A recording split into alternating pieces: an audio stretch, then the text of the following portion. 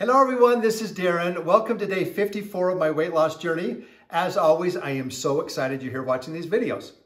Okay, so today's topic, sleep habits for better weight loss.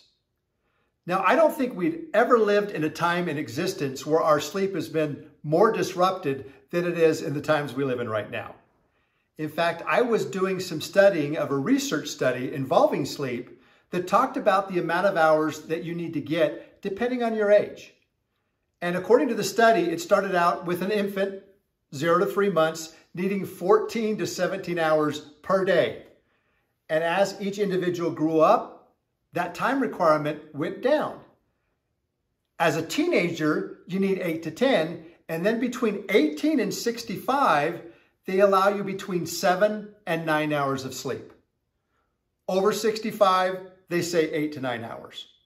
So the question I have for you, if you are between 18 and 65, which a lot of people watching this video probably fit in that category, are you getting those seven to nine hours?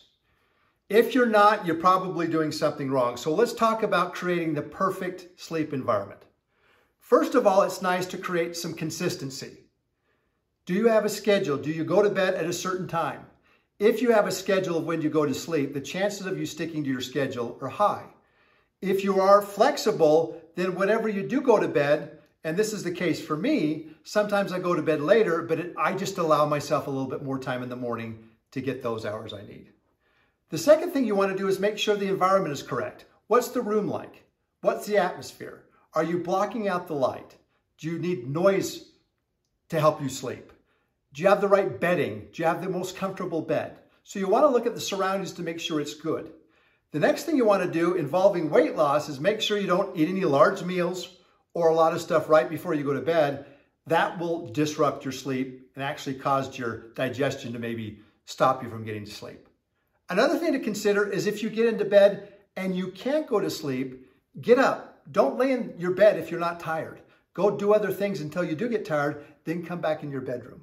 Another thing you want to make sure you do is don't drink any caffeine at least eight hours before you go to bed. And I'm talking like Cokes or any caffeinated drinks, sugar drinks, coffee, whatever it might be. Another tip I want to give you is try to limit having naps during the day. I know a lot of people that take naps during the day have a very difficult time going to bed at night. If you are a person that does need a nap, I would try to set an alarm and limit that nap to one hour so you can still keep with your routine and get the sleep you need at night. So those are a few tips on sleep. Remember, if you're between 18 and 65, you're trying for seven to nine hours per night. Personally, eight hours tends to work best for me. Anyway, remember the importance of sleep with your weight loss, and it truly will help things work better. Thanks you guys for watching. Be sure to subscribe and like this video, and we'll see you tomorrow. Bye-bye.